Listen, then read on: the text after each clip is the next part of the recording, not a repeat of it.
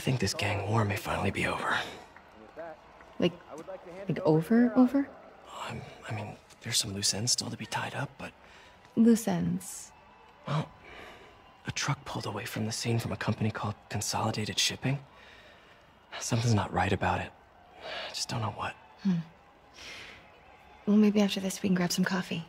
Figure it out together. Yeah. Well, thanks, Yuri. Couldn't have said it better myself, but I'll try.